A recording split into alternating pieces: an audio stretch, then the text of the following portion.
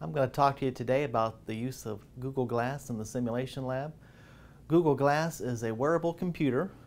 There are only about 10,000 of them in the world. I was able to obtain a pair by entering the Glass Explorers contest. I found about this contest early in 2013, sent in some entries. One of the entries was a poem that I hope no one in the English department ever reads, but it worked. I won the right to fly to New York City, spend $1,500 and obtain Google Glass with the support of ETSU's industrial partner Gaumard Scientific. So one example of the use of Google Glass at the East Tennessee State University Medical Simulation Lab is the eyes of the patient view.